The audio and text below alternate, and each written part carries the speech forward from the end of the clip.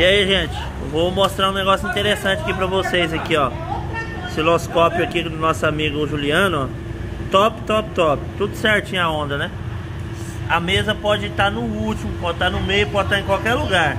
Se você pegar e passar aquele volume ali, ó. Aumenta aí pra nós ver, Juliano, o que vai acontecer. Coloca no 30 aí. Aí, ó. Já enquadra a onda, tá vendo?